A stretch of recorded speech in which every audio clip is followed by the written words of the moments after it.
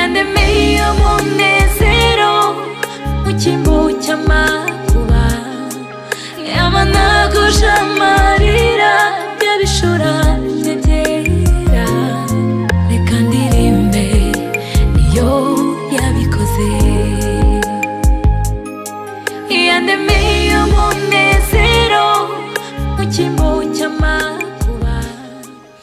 my chapter my journey my testimony. Of course ndabahaye ikaze rero mwe mwese mudukurikiranye babwira ngo uyu ni umunsi imana yaremye kugira ngo tuwishimiremo kandi tunezerwe. Aha mwe mwese muri hirya no hino rero. Mama mutegereje kuvuga ngo ni ibiki imana ikora? Ariko kuba wabyutse ukaba ushobora kudukurikirana. Ibyo ngibyo nta wundi wabikoze. Ni imana ishobora byose. Aho rero turi muri my chapter buri muntu wese ubuzima bwacu ni igitabo. Igitabo cyose rero kigira buri chapitre. Hari iya mbere iya kabiri iya gatatu. Hari uburyo mvuka hari uburyo nkura hari uburyo mbaho hari uburyo niga hari uburyo nkora. Uyu munsi rero mu rugendo rwacu rwa my chapter rw'ibyo imana yakoze ndetse n'urugendo umuntu aba yaragendanyemo n'imana. Turi kumwe n'umushyitsi udasanzwe. Uwo nta wundi rero. Yanditse amateka akomeye ni umukozi w'imana ni umukozi ukora ibikorwa bidasanzwe ni umwigisha ndetse adufasha muri byinshi cyane. Ese mwari mwabona ahantu hari ibintu bisa neza? Ese wari wakora ubukwe cyangwa ukajya mu bukwe ugasanga ubukwe burasa neza? Ese wari washaka kwiga uburyo wategura? Ese uyu munsi rero bafitiye byinshi byiza. Ni umubyeyi ni umuntu udasanzwe ni umunyarwandakazi. Uwo nta wundi rero ni mu kanya gato muri my testimony. Yandemeye umunezero mu amarira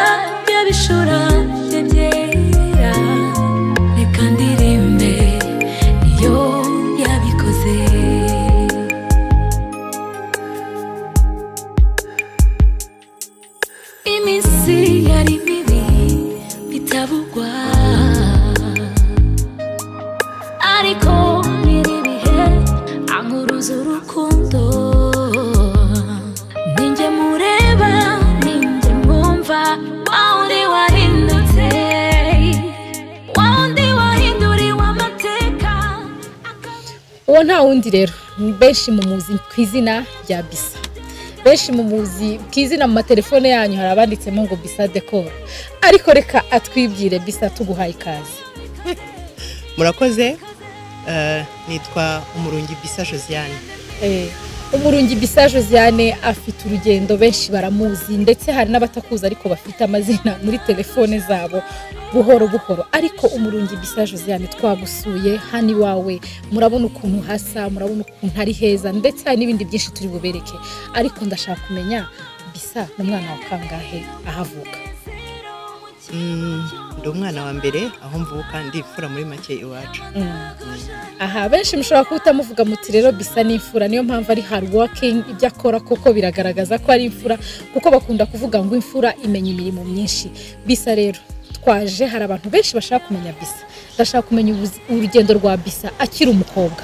Bisa yari umuntu ki?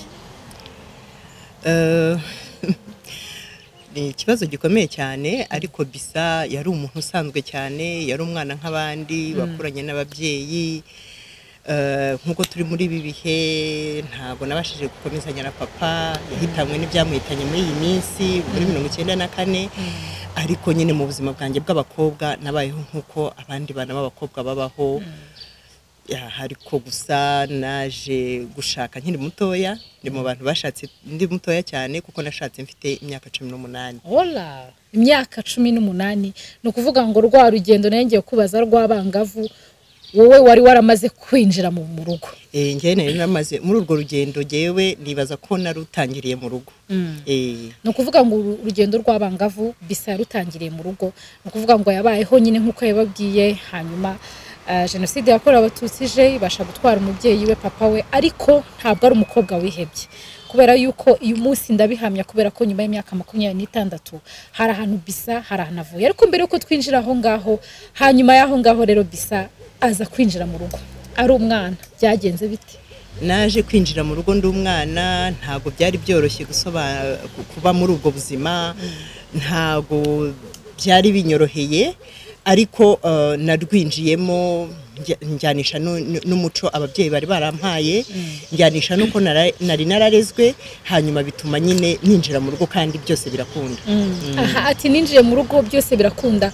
Bisa umukobwa w'imyaka cumi n'umunani muri iki gihe aba agaragara nk'umukobwa aba agaragara nk'umwana. Ariko si no kugaragara nk'umwana gusa aba yumva nta n'icyo yakora aba yumva nta n'icyo yageraho aba yumva akiri muri responsabilite y'ababyeyi. Ariko bisa yinjiye mu rugo ku myaka cumi n'umunani atangira kubona abakecuru baza kubasura aba- abasaza mbese ibintu byinshi. Ariko ndashaka umbwire ukimara kurwinjiramo hanyuma y'icyumweru bisa niki kintu utazibagirwa cyakubayeho? Eh, nkimara kurwinjiramo nka nyuma y'icyumweru ikintu cyari kinduhije nyine ni ukuba nsize barumuna banjye ni ukuba ngiye ndi mutoya cyane. Nibwo ofete ni bwo natangiye kubitekereza nkabona ko kuko ngiye ndi mutoya cyane. Mm, icyo gihe ni bwo natangiye gutekereza nyine ntangira no kwibaza niba koko nzabishobora. Eh, ariko mu bagore b'intwari ndaza kubigarukaho benshi cyane twagiye tuganira mbere yuko tukubaza kino kiganiro bakubwira bisa. Hari ubutwari bwawe desha kuba warashatse ufite imyaka cumi n'umunani uyu munsi ukaba uri hano uri mu rugo rwawe aho twagusuye aho ufite ibikorwa bitangaje aho utihugiyeho ahubwo hari benshi babayeho ku bwa bisa cyangwa se benshi eh, utemeye gufunga amaboko ahubwo uyu munsi hakaba hari ibikorwa byinshi ufite bifitiye igihugu akamaro ndetse n'umuryango byo turaza kubigarukaho. Ariko ndashaka kubaza bisa winjiye mu rugo? Ku myaka cumi n'umunani ubwo ndabwira wa mukobwa w'imyaka cumi n'umunani wumva yuko ubuzima bwe bugomba kuba kuri social media ubuzima bwe agomba kwifotoza ubuzima bwe agomba kugira gute. Ese ibyo bihe wowe wigize wabikumbura n'ubwo wari winjiye mu rugo? Eh, eh, ntago nabikumbuye cyane kuko nasaga naho nari nzi ikinjyanye. Eh, na- na- nari nzi icyo nshaka mu by'ukuri. Kuko kuba naremeye kugenda kuri iyo myaka ni uko nari nzi ikinjyanye kuko njye numvaga ikinjyanye ari ukugira ngo mbashe kubaka neza mbashe kubaka urugo rwiza kandi ru- ru- ruhamye. Mm. hanyuma rero uba umuntu wubatse urugo ruhamye. Ariko muri iriya myaka twumvaga bisa dekoro byaje gute? Ibintu byo kumva bisade ko urumva nakubwiye ko na- nashatse mfite imyaka cumi n'umunani ni ukuvuga ngo nashatse niga mu wa gatatu segonderi ntabwo byari byoroshye na gato ku muntu wigaga mu wa gatatu segonderi Eh, naje gukomeza ndiga mbana n'uwo mutware wanjye aranyishyurira ndangiza amashuri ndangiza kwiga rwose nta kibazo na kimwe ndi n'umuhanga mu ishuri. Ariko nkaba muri njye narakundaga ibintu byo gutegura cyane. Ku buryo nkirangiza umutware wanjye we yahitagamo ko niga universite ariko jyewe musaba ko ya- yanyorohereza nkajya kubasha kwiga ibintu nakundaga Eh, icyo gihe yabyitaga ibyatsi. Kuko yarambwira tugiye kwiga ibyatsi? Ariko jyewe nkamubwira nti ndagiye kwiga ibyatsi kuko ni cyo nahisemo. Nuko rero natangiye nyine njya kwiga ibyatsi mva muri iki gihugu ntanga sacrifice idasanzwe cyane kuko naragiye mara imyaka ibiri mba muri Kenya ariho nabashije gukura ubumenyi bwinshi mfite. Eh, nuko nguko byaje nta kundi kuko muri njye numvaga mbifite. Wow. Urumva rero tugarutse kuri cya kintu cyo gukora icyo ukunda kuba wowe. Ah, tuvuga umuntu hano dufite ababyeyi ugasanga ubwiye umubyeyi uti njye ndikundira umuziki. Ati reka reka reka, ibyo bintu ni iby'abantu badasobanutse. Ukabona kujyanye wenda kuba umuganga ni ho ugera ugasanga umuntu yageze ahantu acika intege. Ariko bisa arakubwira ati narize niga ibyatsi. Ariko koko ni n'ibyatsi. Murebye hano hose ni ukuri ni ibintu yize kandi byari byiza. Hanyuma rero urugendo rwawe nyuma y'imyaka ibiri uva ku ishuri uragaruka ukomeza kubaka urugo. Eh, nyuma ya myaka ibiri urumva namaze imyaka ibiri yose ntataha mu rugo. Ari amakuru banzanira umutware aza kunsura abana bari aho ubwo urumva hagati y'uko kuva mu wa gatatu kugera mu wa gatandatu naje kubyara undi mwana nabyara abana babiri abahungu babiri b'imfura noneho turavuga reka tubyara noneho tubanze dushake ukuntu nakora nkagira ubuzima. Nyuma ya myaka ibiri rero naragarutse mva muri kenya ngaruka mu rwanda noneho ntangira gukora. Ntangira gukora mbifitemo ubushake ntangira gukora bigoye cyane bitari binyoroheye urumva ni bwo nari nkibyinjiramo. Ariko ntangira gukora ni- ninjira mu kintu kimeze nko kugira umugisha kuko sinzabyibagirwa ikintu cyatumye nsa naho nzamuka cyane ninjiye icyo gihe hari hari hoteli yitwaga intercontinental. Nibwo yari igifungura. Iyo hoteli ifungura ari abazungu bayi- bayifunguye. Abo bazungu rero bakaba barifuzaga umuntu wize iby'indabo. Ngo bari bamaze hafi ibyumweru bibiri bakoresha examen ngo bagatanga examen abantu bakabinanirwa bagatanga examen abantu bakabinanirwa. Hari umutante wanjye rero wakoraga ahantu bitaga muri bakari ubu ngubu yabaye access arambwira ati hari abantu bo muri intercontinental bashaka umuntu wize iby'inda bati bashaka kuguha ikizami njya muri intercontinental ndagenda ndi presenta ndavuga nize ibi nize ibi. Bati ok ejo uzaze gukora examen bati rero uzaze gukora examen witeguye. Urumva nari mvuye kwiga nari nzi kwitegura icyo ari cyo ndagenda nditegura rwose ibishoboka byose ntegura indabo ntegura udukoresho ntegura utuntu twose. Nuko abo bazungu rero bampa ikizami. Abazungu bampa ikizami bampa icyumba cyo hasi cya cyumba cyo hasi cyo muri intercontinental bakizi cyitwa auditorium. Barambwira bati iki cyumba turakiguhaye ukigabanyemo amadepartoma ushaka. Ugabanyemo amadepartoma uko uyumva uvuga uti nategura gutya. Urumva rero mvuye kwiga. Nibwo nari nkiva kwiga nkifite n'amashagaga yo kwiga mpita mfata koko icyo cyumba n'ibikoresho byo nari nzanye by'amabuke kuko icyo bashakaga cyane cyari amabuke. Mpita mvuga ngo nkora buke yo mu cyumba buke yo muri cuisine buke yo muri toilette buke yo kuri reception buke mbese nkora buri buri ndabyibuka ko nakoze hafi amadepartoma umunani noneho abazungu bari bampaye gukora amasaha atandatu mbirangiza mu masaha atatu. Baraza ako kanya barambwira ngo bari bamaze ibyumweru bibiri ngo bahamagara umuntu ntibumve n'icyo ashaka kuvuga. Abazungu bahita bampa akazi gutyo. Ninjira muri intercontinental intercontinental imbera nk'aho yambereye ikiraro cy'uko nabashije kumenyekana. Ni ukuvuga ngo n'abagiye bamenya bose nuko nagiye nzamuka hose byaturutse kuri uwo musingi w'aho ngaho. Wow. Ah, burya urabyumva nyine iyo uri mu muhamagaro wawe cyangwa se uri mu byawe ukunda imana ishobora kuguheramo umugisha. Hanyuma rero urugendo rwa bisaro rakomeje akoze muri intercontinental ubwo ni umudamu ariko ubwo afite imyaka ingahe? Ubwo nari maze kugera ubwo urumva narongwe niga mu wa gatatu ndarangiza indi myaka itatu ubwo ibaye eh, makumyabiri n'umwe nongeraho indi ibiri ubwo aho ngaho nari maze kugera muri makumyabiri n'ine makumyabiri n'itanu. Makumyabiri n'itanu ukaba uri umuntu ushobora kuba wadekora intercontinental kubera ko bya bindi wize kandi uri umumama ufite abahungu babiri icyo gihe ufite urugo rwiza. Bisa ntabwo byari byoroshye. Ntabwo byari byoroshye ha- ntabwo byari byoroshye niko nabivuga ariko hagati aho hamwe no gushyiramo gukunda imana kubana n'imana ubuzima bwageze aho ngewe mbona buranyoroheye. Bwageze aho kubera ko nakoraga ibintu nkunda kandi nshaka mbona buranyoroheye. Na wa mugabo watangiye avuga ko ngiye kwiga ibyatsi atangira kuntera inkunga no kumfasha bituma ngenda nzamuka. Eh. abantu rero benshi bazi kuri bisa bakunda kuvuga ngo bisa ni umugore w'intwari. Abantu benshi twagiye tubaza wenda tuzabashaka bavuge bati kuko muri my chapter tuba dufite ubuhamya bw'abantu niyo mpamvu tubaganiriza dufite amakuru amwe n'amwe. Kandi ngo bisa ni umugore w'intwari. Ibaze nawe afite aba bahungu babiri afite umutware yinjiye mu rugo akiri mutoya atangiye akazi ko gukora dekorasiyo. Hanyuma bisa ese byaje kukorohera kuko ndumva nibuka neza yuko ibintu bya dekorasiyo byari byaratera imbere hano mu gihugu cyacu? Tukidekora papiye jenike n'ibipirizo. Se waba uri muri ba bandi badekoye papiye jenike n'ibipirizo biza oya. Oya naje nsa naho naje. Ibyo ngibyo bimaze kugabanuka bimaze gushira.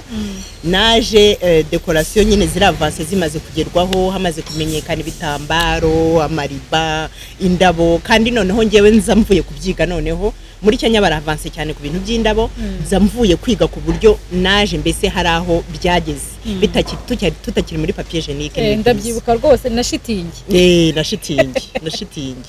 Oh imana yadukuye kure rero nk'abanyarwanda nanjye nabyita ko ari ukwiyubaka iyo ubonye dekorasiyo y'uyu munsi bisa akora ukabona dekorasiyo y'ibihe bya kera kuko njye ndabyibuka mu bukwe bwa bisa twari narabyinaga narabyinnye hanyuma rero hari hari ibipirizo na papiye jenike byari bihari.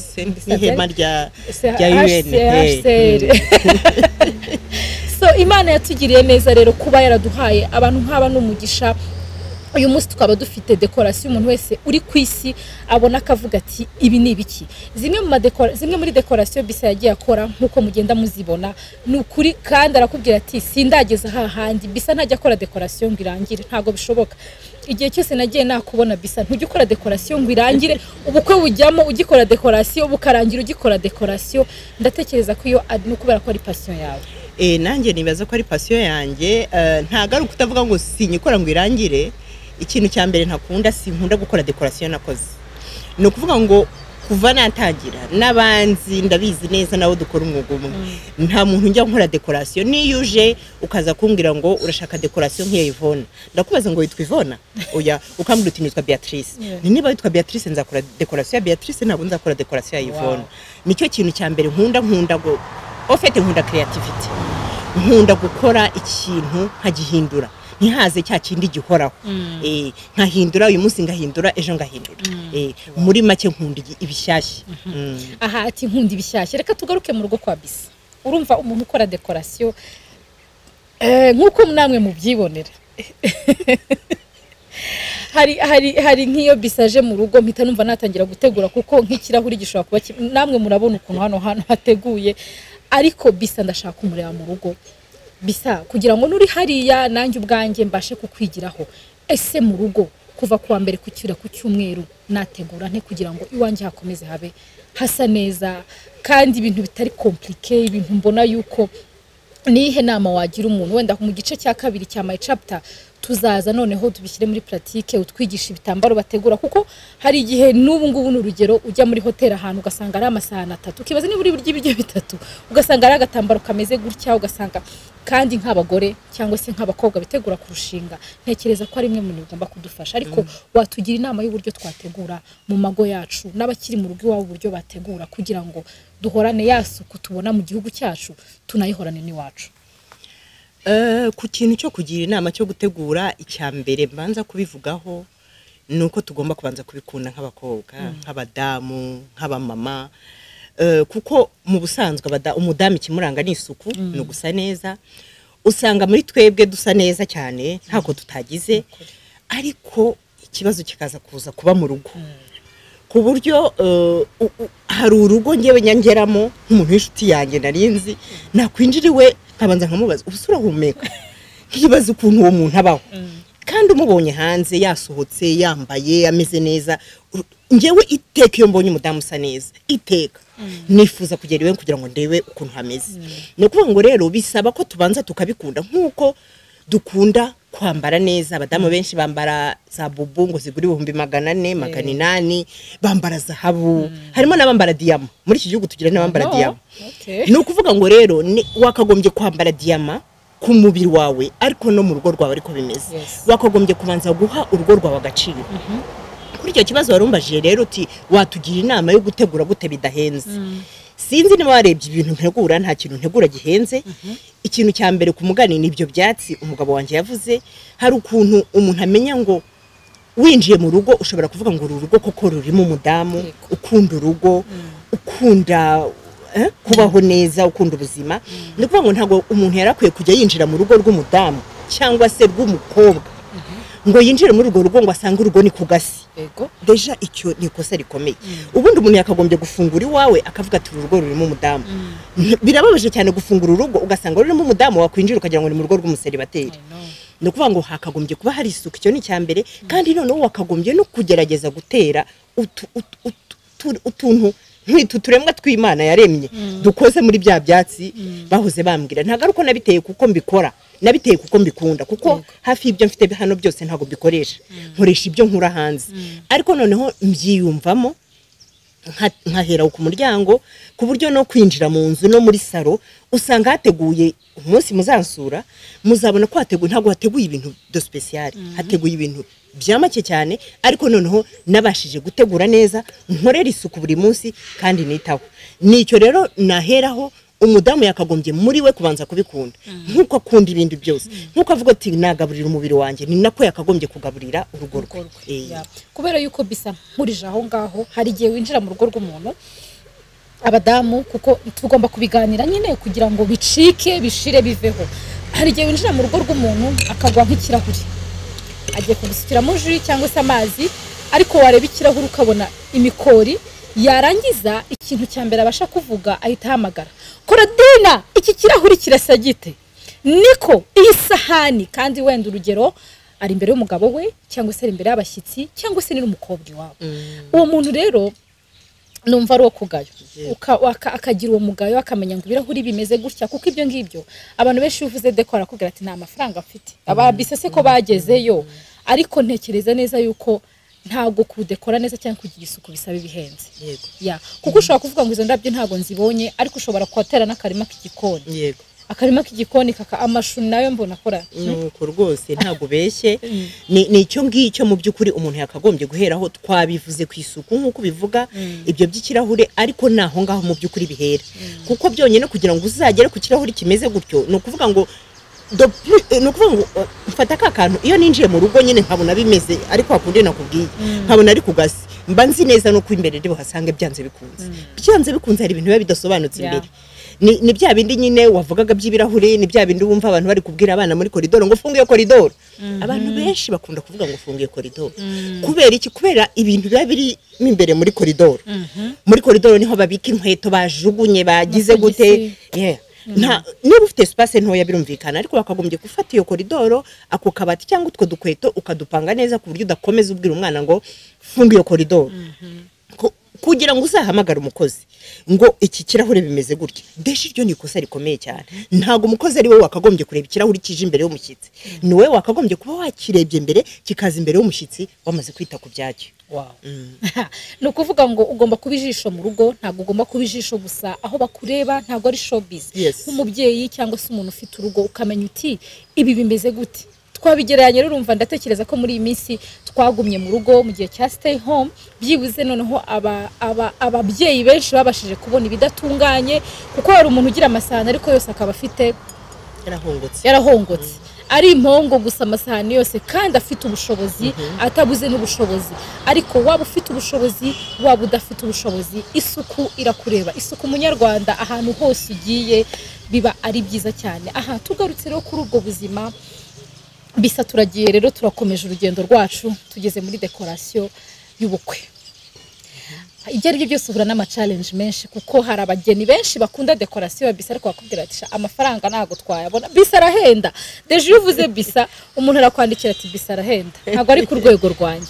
Bisa ni iki ushobora kubwira umuntu nk'uwo nguwo ushaka kwegera bisa? Ukivuga ko bisa ahenda cyangwa se wishyizemo icyo kintu. Tugiye mu rwego rwa dekorasiyo rero. Eh, ntago nibaza ko mpenda nk'uko byakagombye. Ahubwo abantu bishyizemo ngo bisa ndahenda n'ibiciro byanjye bimeze nk'iby'abandi ntawe bitandukaniye Eh, ahubwo icyo abantu bataramenya ni uko abantu batanyegera ngo tuganire.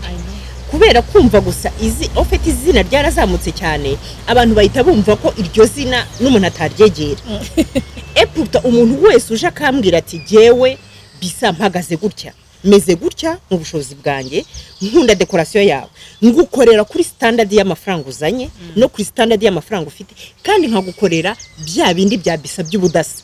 Dekorasiyo zanjye zose nibaza ko hafi ya buri samedi ndazipositinga ziba buri ntabwo ari ukuvuga ngo uwo nakoreye mu kwa mbere kugeza mu kwa cumi n'abiri baba barishyuye amafaranga amwe. Oya biterwa n'ibyo ushaka. Uraza tukaganira nkakwerekana nkurikije ibyo uvuze ushaka. Nanjye nkurikije uko aho uzakorera hameze ushobora kugukorera gutya. Nawe ukambwira uti bimeze gutya. Uwo twabashije kuganira wese nta kibazo twagiranye byarakunze rwose. Nibyo abantu bishyizemo bishyizemo ngo bisa arahenda. Eputa babashije kunyegera bashobora kuntangira ubuhamya barabizi neza ko ntabahenze. Oya nanjye ndi mu bahamya ibyo ngibyo kubera yuko nzi n'aba- n'abakorera ku buntu nyine ariko ntimuzaza ubuntu ntago hoya. Ariko nzi neza yuko bisa akora ibyo akunda. Mpamvu ki nari mbikurijeho ni ukubera ko turi muri ikiganiro cyitwa shapitire yanjye urugendo rwanjye. Hari umuntu ukunda bisa agakunda ibya bisa ariko akavuga ati eh, eh, eh, eh, ku bihumbi byanjye magana atanu bisa eh, udafite miliyoni eshanu ntabwo wamwegera. Ariko Eh, ikindi kintu nkundira bisa kuko nagiye mukurikirana ndetse nababwiye yuko mfite n'amakuru ni uko bisa dekorasiyo ye arayikunda. Ndabikunda bisa. Arayikunda araba ahari aba ahari we watanze abiri watanze atanu bisa aba ahari so mwe mwese rero mushaka kwegera bisa dekorasiyo yitwa ubudasa. Kandi ikindi kintu nkundira bisa ni uko ntabwo biherera aho ngaho mfite abahamya mfite koko. Mfite abandi benshi arakubwira ati no ntabwo bisa yandekoreye bisa yampaye n'inama. Hari abantu hari inama dukeneye hari byinshi dukeneye uyu munsi ntabwo ndi bubimubazeho ahubwo muri mu gice cya kabiri cya shapitire azabasha kubitubwiraho. Hari challenge nyinshi duhura na zo hari bridal shower duhura na zo ariko bisa kimwe mu bintu namubonyeho tuzabasha kuganira muri meet and talk. Ni uko akubwira ati mbere y'uko ushyira dekorasiyo imbere manza udekore wowe. Get ready to get to kuba uwo uri we. Uriwe. kandi umvuga uti no dekorasiyo si cyo cyihutirwa. Hari abantu bishyizemo ngo dekorasiyo ntafite dekorasiyo sinarongorwa. Ariko ugasanga abakobwa b'iyi minsi arashyira dekorasiyo imbere just arashyira fete imbere mbere yo gutekereza ku cyo agiye gukora. So ndabivuga kubera yuko mu gihe cyashize bisa twari turi kumwe ni we wambereye yarandekoreye kandi byinshi yarahari. Ariko ngewe burya natekerezaga cyane kuri dekorasiyo. Eh, eh, ukaba wambaza uti se uzinjira mu rugo ariko dukeneye igihe cyo gutekereza urugendo tugiyemo. So impamvu tuba tubivuga rero ni ukugira ngo mistake zishobora kuba zarabaye zitazakubaho. So rero kimwe mu byo mukundira ntabwo ari ntabwo ari orikide gusa ahubwo haba harimo n'izindi nama zigiye zitandukanye. Bisa umukobwa wifuza kurongorwa. Umukobwa wifuza kurongorwa arashaka ibintu yabonye kwa kanaka ariko mbere y'uko byibuze. Munyuriremo gatoya mbere y'uko atekereza kuri dekorasiyo n'ibindi niki yabanza gutekerezaho? Umukobwa bwa mbere wifuza kurongorwa mbere y'uko atekereza ku bintu byose ajya abanza atekereze ku mana. Kuko ntabwo byoroshye kugira ngo ubashe kubaka udashikamye mu mana. Ntabwo byoroshye kugira ngo ugire icyo ugeraho utarabanje ibyawe byose imbere. Ngo ubanze ushyire imana imbere. Ni ukuvuga ngo iyo umaze gushyira imana imbere iyo ugiye kubaka birakorohera cyane. Ni ukuvuga ngo dekorasiyo niyo utabona iya bisa. Ukabona indi ya make ihendutse y'ubushobozi bwawe ufite. Icyo gihe ubasha kubaka. Ntabwo urenganya wa mugabo utabashije kuyishyura. Nta nubwo nawe ubwawe wirenganya. Kuko icyo gihe ubwo bushobozi ntabwo wari ufite. Umukobwa u- wabanje imana iyo agiye mu rugo ibyo akoze byose abishyira imbere y'imana akabasha kubaka. Nicyo kibazo gihari ubu ngubu abana b'ubu ngubu ntabwo babanza imana imbere. Iyo udashyize imana imbere ngo ubifatishe cyane birakugora cyane iyo, wamaze kubaka. Njye rero nkumva ari cyo kintu cya mbere nababwira kiruta ibindi ni uko bashyira imana imbere kugira ngo bazabashe mu rugendo rwabo. N'ibyo ngibyo twavugaga byo gutegura n'ibyo ngibyo twavugaga by'ibirahure. Eh, urumva uko ugenda umenya imana uko ugenda urushaho kumenya imana ugenda umenya ko umugore aganduka. Ugenda umenya ukagenda ukura muri wowe ukagenda uri umukobwa ariko ukagenda waramenye ko ugomba kujya mu rugo kugira ngo uzamenye uzamere ute uzagandukira urugo. Niho hava ibyo byose byo kumenya kwitwara. Kuri shapitire yitwa kwihangana uyivugaho iki? Kwihangana ni shapitire ikomeye cyane. Ubanza yakongera igafata undi munsi. Ni shapitire yamfashije kubaka. Ntabwo byoroshye kugira ngo wubake ufite imyaka cumi n'umunani. Eh, ntabwo byoroshye kugira ngo wubake uri umwana wiga mu wa gatatu segonderi ntabwo byoroshye kugira ngo ubyare urere ukiga mu wa gatatu mu wa kane. Ntabwo byoroshye kugira ngo urangize amashuri nta nubwo byoroshye kugira ngo ubashe kubaka urugo utazi kwihangana. Niyo shapitire ish- ishobora gutuma umudamu atsikama mu rugo rwe akarushimangira. Kwihangana kudasanzwe niko nabyita yewe. Ni, ni shapitire navugaho cyane kuko ni shapitire yamfashije mu buzima ntabwo nabeshya. Yaramfashije mu buzima bwose nabayeho urumva ubwo buzima bwo kurongorwa n'umwana ubuzima bwo kubyara ndi umwana ni shapitire yamfashije ikaba ifite aho ingejeje muri aka kanya. Nicyo ni nayivugaho ukuvuga ngo kwihangana byakubereye taransiporo ikugejeje mu kubaka uyu munsi. Yego. Hanyuma yaba abahungu babiri basha no kubona abakobwa babiri. Yego. Eh, kwihangana byaramfashije cyane ntabwo byambereye taransiporo byambereye ikiraro. Yego. Eh, kuko ikiraro ni ikintu kikwambutsa ahantu utari kwambuka.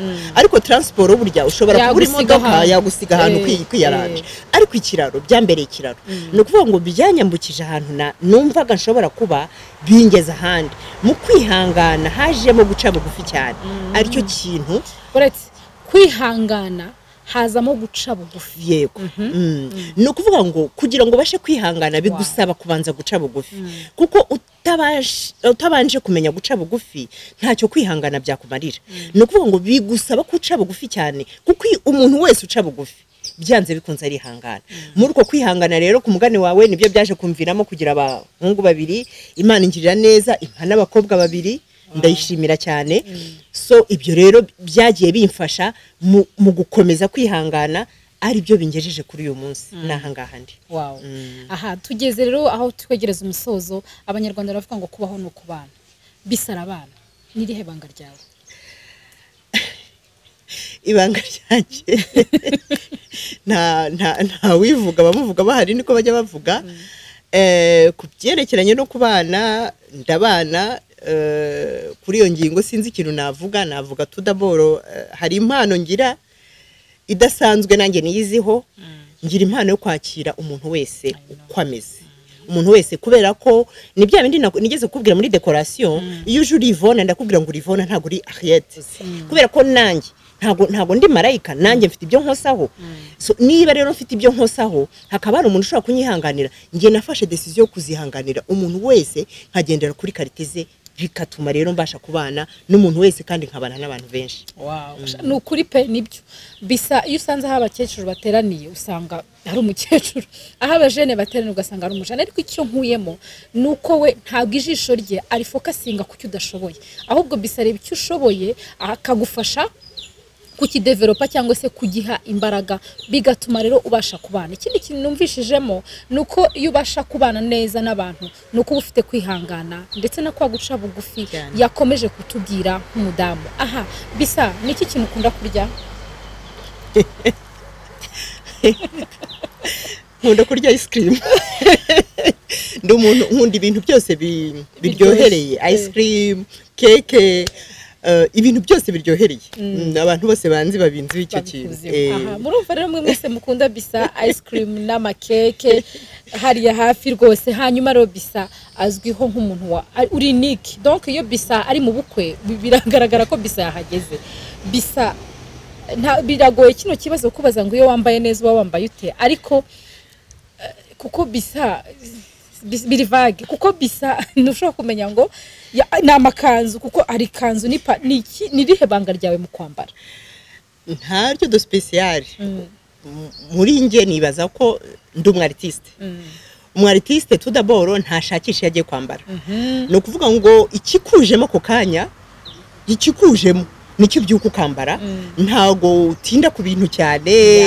Ikindi kandi nabonye ku ba artiste ntago duhendwa ntabwo kabisa. Mm, oya ntabwo umuntu ubimbwira hariya. Njyewe njya mbwira abantu ko ntabwo duhendwa eh, ntabwo ujya kugura ibyo bya menshi ngo wenda biragusaba kuberwa cyangwa use neza. Wowe muri wowe tudaboro icyo ugiye kwambara ucyambara uzi neza kugira bukubere ukacyambara kandi wumva ko koko kikubereye. Ugasiba kwambara igiteye isoni ugasiba kwambara ikidahesha imana icyubahiro ariko icyo uzi neza cyose ko gihesha imana icyubahiro imana ibigufashamo kigasa neza. Kigasa neza. Ari byo bifatanyiriza muri kwa guca bugufi do plus uca bugufi do plus abantu bakubonamo ikindi kintu kidasanzwe. ka- aha bisa rero ni umwe mu bantu bitabajwe muri miss rwanda. Miss rwanda nagiye kubona mbona ururabyo ndavuga nti ruriya ni ururabyo ni zingaro ni, masedwane simbizi bisa. Barumbwire ruriya rurabyo rwari rukoze mu ruriya rurabyo nyampinga yari afite kuko ni bisa. Rwari rumeze ikindi nashimye ba- nyine wabonaga ari ibintu bidakomplitse kandi made in rwanda. So wambwira uburyo byari bimeze rwose kuko nzi neza ko hari abantu benshi babyibajijeho. Muri my journey my chapter byose tubishyira hanze ariko kugira ngo nawe ukuremo isomo ry'ikiza Eh, ku cyumbajije cya Miss Rwanda eh, Miss Rwanda ukuntu byagenze eh, twarayiteguye nyine tuyikora kuriya mwabibonye. Uyu mwaka nagerageje kuyitegura bidasanzwe niba mwarayibonye. Eh, mwabonye ukuntu stage yari ikoze na- twarabihinduye ibyari bisanzwe. Byose turabihindura hanyuma ngerageza no kwerekana ko um, ofete nakoresheje natire cyane. Eh, ntago ikiba gikenewe cyane kiba koko ari uko aba bakobwa bagaragara ariko se baragaragarira hehe? Na- baragaragarira hehe sinzabyibagirwa ndi gukora ngeze hagati nagiye kumva numva abantu bo muri RDB barampamagaye barambwira bati ni wowe wakoze Miss Rwanda? Ndavuga ngo ni njyewe. Nguko bari kuvuga ngo hari abanyakenya baje. Nabwa ntoya nta n'umukozi w'umunyakenya waje. Ndi umunyarwanda ni bisa ndi umunyarwandakazi nijye uri gutegura kuko byari bitangiye gusohoka. Bavuga ngo si sitire yo mu rwanda ni sitire yo muri kenya nyine yasohotse. Hanyuma ngiye gukora ururabo rwa miss rwanda narukoresheje indabo z'iwacu. Eh, dukoresha Ha- iziriya ndabyo turazifite hano mu rwanda? Ziriya ndabyo rwose turazifite. Eh, tuzifite eh, ahantu bazihinga i rwamagana. Nibo bari baduhaye indabyo aba ari zo dukoresha nkoresha amaroze. Nongeramo akantu k'ubudasa kabisa. Ah, mwabonaga ukuntu ururabo rwari rumeze rwari rumanutseho eh, ururabo bita voilà. Eh, ah, ari narwo ah, rwiti- rwitirirwa eh, shop yanjye shop yanjye yitwa orchide. Nayongeyemo nyine muri ubwo bwa budasa bwanjye kuko ni ururabo rwa mbere ku isi nirwo rurabo rwiza kandi nirwo rurabo ruhenda. Niyo mpamvu rero naruhaye uwo icyo gihe nyine wari wahawe icyo cyubahiro. Wow. hanyuma rero bisa. Bisa baye bisa orchide baye orchide bisa bisa bisa bisa bisa. Ndumva nshaka yuko hari ikintu cyangwa se message ushobora kubwira umwana w'imfubyi wihebye. Ha- hari umwana uri hariya w'imfubyi yarihebye eh, hari n'undi muntu wa kabiri ni wa mudamu byacanze. Burya umudamu byacanze usanga isogisi riri hano ukagira ngo ni supura itasi iri hariya yanyweramo igikoma akajya hasi akaguhera amazi mu itasi kandi ibirahuri bihari. Hari uburyo abagore turemwe turi inzabya zoroshye ariko kwa kwihangana tugushyire muri puratike ese umugore nk'uwakora iki? Hari igihe nyine bigucanga hari igihe nyine bigoye bisa biragoye. Ha- ha- hari uri hariya afite deception. Yari afite kopari byose yamutaye. Ariko ndumva ashaka ko bisa yamuremamo ijambo. Kuko mpamvu kimbivuga ni ababyeyi ngo mbafite amakuru. Igitondo kimwe hari ibyambayeho byari binkomereye bisa nyoreza ijambo rimbwira ngo ujye ubibona nk'ibibambwe. I'm telling you ryaramfashije kugeza n'uyu munsi. Ariko ndizera neza kandi ntashidikanya yuko hari undi muntu uhari udukurikiranye. Bisa hari abantu bari hanze. Hari abantu bari mu bihugu byo hanze. Bafite nostalgie ba- barababaye bafite deception ntibarabona impapuro zo gutaha donc abo bantu bose bakeneye ijambo riva mu mutima wa bisa kuko bisa uko mubona ari ururabyo niko n'imbere ari ururabyo kandi ni ukuri amagambo yashobora kuhira ubuzima bwawe nawe ugashobora kuba wakongera ukarabagirana. Niwe muntu wifuza kuganiriza. Mpereye kuba wahereyeho abana b'imfubyi. Eh, ikintu cya mbere nabwira abana b'imfubyi ni ukuvuga ngo ibyabaye byarabaye nta n'ubwo ushobora kubisubiza inyuma ngo ubihindure. Byarabaye byararangiye ntabwo ari byiza bya- byaradukomerekeje twese ariko noneho ntabwo wari ukwiye guheranwa n'uko kwiheba. Wari ukwiye kuvuga ngo niba ibyo byarabaye nkaba narasigaye ese nasigariye iki? Nasigariye kugira ngo nzubake igihugu nasigariye kugira ngo ubuzima bwanjye nzabugire ubundi. Niba ababyeyi bawe barapfuye hari icyo bagutezeho hari ko bajyaga bakwifuza.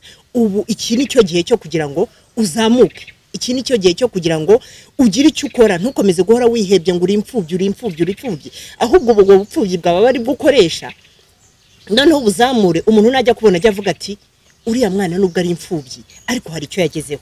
Aho nahereye ku bana b'imfubyi yuko batakagombye kwiheba. Ahubwo bakagombye kuvuga ngo niba narasigaye hari impamvu imana yansize. Yansize kugira ngo nzabere icyitegererezo aba- aba- aba- aba- abandi bana.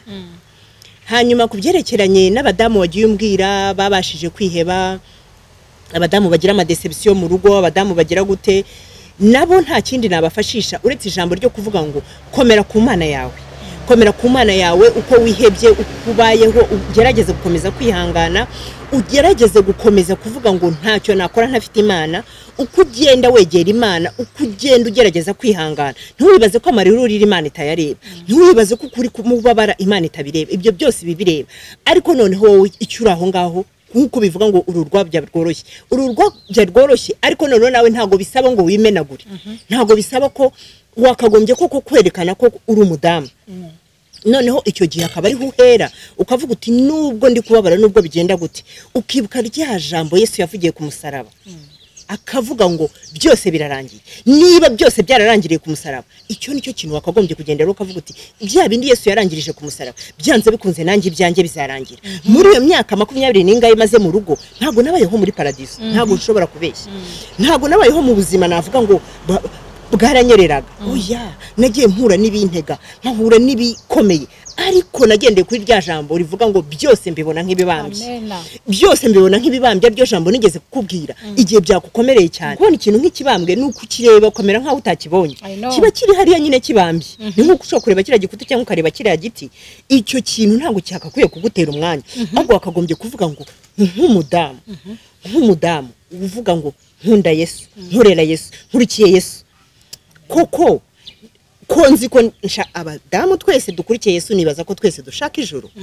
Niba koko nshaka ijuru esike nzagera mu ijuru ntarabonye ibintu nk'ibibambwe nzagera mu ijuru akantu kose kankoraho ukagira ngo eh, ibi ubuzima burarangiye. Wakagombye rero kwihangana muri ubwo buzima niyo mpamvu wakagombye kugerageza ibyabaye byose ukabibona nk'ibibambwe Mm.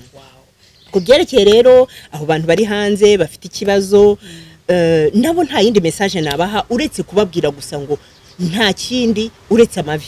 Isengesho ry'umuntu uko ryaba ringana ryose ntabwo bigusaba ngo umare umare iminsi mirongo itatu agasengesho kawe gatoya ko kwibuka yuko imana yakuremye kandi yakuremye ku bw'impamvu. Ni ukumenya ko iyo mana ari izagucira inzira n'ubundi niba ari ibyo byangombwa ushaka niba ari uko kuntu ushaka eh, abo bakobwa bagize amadeception ntukagire deception ngo wumve ko ubuzima burangiye. Ushobora kugira deception ngo musheri wawe yakwanze ngo fiancé wawe yakwanze. Ubwo niba yakwanze ntabwo yari uwawe. Ntabwo ari wo imana yari yakwandikiye niba umugore yatandukanye n'umugabo byanze koko byananiranye. Ntabwo ari ukuvuga ngo hari igitangaza cy- cyabayeho. Ubwo nyine ni uko nguko byari kugenda. Ujye uvuga uti noneho ndafokasinga ku biri imbere. Ntukaguma ahantu hamwe kuko kuguma ahantu hamwe ni byo bituma umuntu adatera imbere. Kuguma ahantu hamwe ukavuga uti ubuzima burarangiye ubwo fiyanse yanyanze birarangiye nta kundi bizongera kugenda. Oya uwo nguwo ubwo ngubwo ntabwo ari imana yakugeneye. Uwo imana yakugeneye azaza kandi azaza agukunda kurusha wa wundi. Sinzi ntabwo mfite ibihambaye byo kurenzaho gusa ari umuntu ushobora kuba ari haravuga ati i want to talk to bisa. So meet and talk izagaruka vuba cyane ariko rero reka nshishikarize wa muntu uri hariya wifuza kwegera bisa. Ni ukuri eh, turaza gushyiraho aderesi y'uburyo ushobora kubona bisa uburyo ushobora kuganira na bisa kuko muri we afite ubutunzi bwinshi. Bisa ngewe tusubiye inyuma gatoya hari abantu benshi basenya.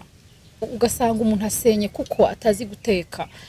Noneho ugasanga nyine muri iyi minsi ndi kwibaza muri covid 19 ndi kwibaza uburyo baba bandi bajya kugura ibiryo muri resitora bagategura ameza umugabo akarya. Ubu uyu munsi babayeho bate? Ariko ushobora kwegera bisa hari abantu bavuga ati na shangazi nigeze ni ukuri bisa ni shangazi mwiza.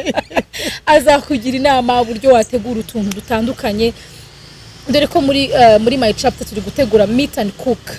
Ni iki ushobora guteka cyihuse? Ese ntabwo ari ngombwa ngo murye inyama? Ntabwo inyama ari zo zigaragaza ubusirimu. Bisa uzi ko hari abantu benshi bazi ko inyama ari zo zigaragaza ubusirimu. Kandi ni ukuri twa dushyimbo dukaranze neza n'uturayi cyangwa n'imvange. Ushobora gushyira perisire hejuru. Sibyo? Nibyo rwose. rwose ntabwo nta ryarenze. Niba umugabo ari muri crise mukashobora kuba mutari kubona inkoko ntibizabatandukanye. Urugo rwanyu ntiruzasenyuke.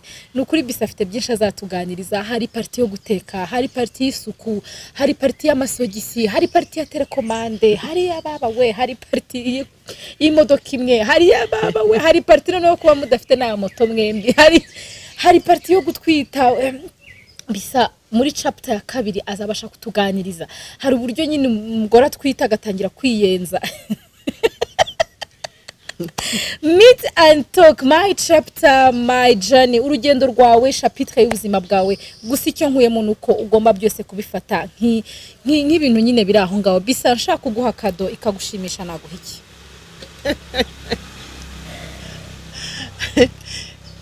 Icyo kibazo ntabwo cyoroshye. Ah,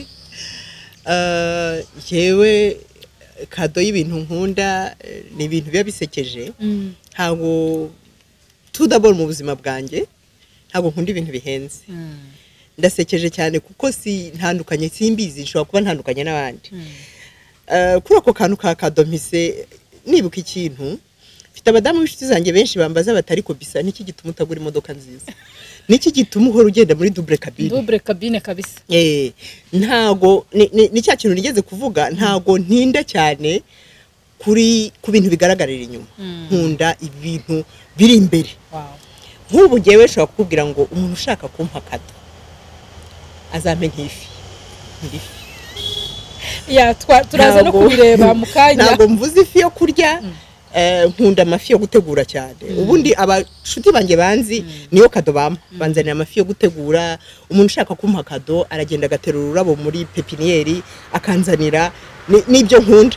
Ntuzibeshye rwose kuzanzanira impeta ya zahabu ngo mbone ko hari icyo wampaye ntibizanakurushye uzanzanire akabwa Mm, utuntu imana yaremye. Izo nizo kado zanjye. Urumva rero ko muri my chapter my journey tubasha gusobanukirwa utuntu twinshi dutandukanye ukagenda ukagura nk'agapupi ukamuzanira kakazi wow this is it. Niho kuganira biri muri shapitire ya bisa. Rero twaba tugeze muri shapitire ya gift. Rwose ibihambaye uzabyihorere umwizanire nk'u- nk'udushishi turi mu kantu k'akabosi wow nawe tuzakugeraho rero tumenye icyo ukunda kubera yuko hari igihe ujya guha umuntu gift ni ukuri twe byaraducanze igihe kimwe. Ndavuga rero bisa nta kintu tumuha twigendere tu aturebe atwihere gift ari we kuko akunda gutanga mu bintu nzi. Harimo no gutanga. Aha ndangiza rero ndifuza yuko ubwira ba bahungu bawe babiri beza b'ababogari ndumva ashaka kubaha mesaje kuko ni beza pe. Eh, abahungu banjye. icyo nababwira mpora mbabwira mbatoza eh, nta mesaje iruta yuko bagomba gukunda imana. Kandi icyo mpora mba- mbasabira ku mana ni uko bazaba abagabo eh, bakubaka neza eh, bakabana neza ba- bakagendera ku rugero rwa papa wabo na mama wabo kandi ikindi bagakunda umurimo. Aho rero twari tugeze muri shapitire aho umubyeyi abwira umwana. Dufite hano umunsi umwe nabwiye mama ndamuhamagara ndamubwira mama i love you. Ahita arambwira ari urashaka iki? So rero aho ngaho turi abanyarwanda ntabwo turabisobanukirwa ariko mesaje ntekereza ko muyumvishe bahungu beza. Reka tugere no ku bakobwa. Abakobwa bo baracyari na bato. Umukuru afite imyaka icumi umukurikiye afite imyaka itanu ariko mfite n'abandi bakobwa benshi cyane rero urabizi. Mm. Ariko icyo abo bana bose mbifuzaho bahora bazi icya mbere ni ugukunda imana ni ugukorera imana kandi ikindi ni ukuzabazamuka nyine nk'abana nyine ba- barezwe Yes. kugira uburere bakagendera byibura ku ku byo bambonyeho bakagerageza gutera ikirenge mu cyanjye. Eh, iki cyo ni cyo mba nifuza ku bana b'abakobwa kandi nkaba bose mba mbifuriza yuko bazubaka neza. Wow. ibyo byo ndabyiteguye na dekorasiyo namaze kuyibona aha finally tugeze kuri shapitire aho uwashatswe afite imyaka cumi n'umunani. Nyuma y'imyaka makumyabiri n'ingahe ageze mu rugo. I know mesaje gutya babimubwira. Ariko tugeze muri cya gihe kivuga ngo bose babireba. Ugiye kumubwira papa dede akari ku mutima wawe Eh, icyo nabwira umutware wanjye umutware wanjye ndamukunda cyane cyane ariko nawe arabizi nta kindi kirekire narenza kuri ibyo uretse kumenya ko mukunda n'umutima wanjye wose. Kandi twasezeranye mubwira ko tuzasezerana tuzabana mu bibi no mu byiza. So icyo nenda kumubwira ni uko mukunda cyane. nta handi nari kurangiriza ikiganiro rero ntashyizemo ikintu cyitwa love kuko urukundo ruranesha urukundo runeshereje bisa urukundo ruramutsindishirije urukundo rumugejeje kuri byinshi mwabashije kumva ndetse n'ibyo muzakomeza kumva. Reka shapitire yacu y'uyu munsi tuyigarukirize ku rukundo. Ariko nyuma y'urukundo hari ibindi byinshi tuzamenya kuri bisa. Imana ibaho umugisha mwe mwakomeje kubana natwe bisa ndagukunda. Nanjye ndagukunda cyane. kandi ndishimye cyane. Imana iguha umugisha. Mukomeze murebe my chapter my journey my testimony my victory. Imana ikomeze ibagirire neza. Uyu munsi twagarukiye ahantu havuga ngo byose ujye ubibona nk'ibibambwe twari turi kumwe na bisa ndetse umuzi mwese muri orchide cyangwa se ubudasa dekorasiyo mwese rero mwifuza kuzaganira na bisa muzatwandikire muzatubwire. Turo biroroshye tuzamubagezaho. Icyo waba wifuza cyose urashaka dekorasiyo nziza mu bukwe bwawe? Ese urashaka uburyo wategura? Ese urashaka uburyo nawe muri wowe imbere wawe wubakitse? Ese urashaka ururabyo rwiza rwo guha umubyeyi rwo guha inshuti ryo guha boyfriend ryo guha girlfriend? Ibyo byose rero nta bindi. Bisi ashobora kuzabigukorera kandi akabigukorera neza. Reka mbashishikarize rero kuzakurikira igice cya kabiri. Aho tuzaba tubaza bisa ese koko indabyo nyinshi mu rusengero ni ngombwa cyangwa twazigabanya tugafasha abashonje? Ntuzacike igice cya kabiri. Be blessed. Yandemeye umunezero mu cyimbo cy'amakuba yamanaguje amarira y'abishura byera reka ndirimbe niyo yabikoze yandemeye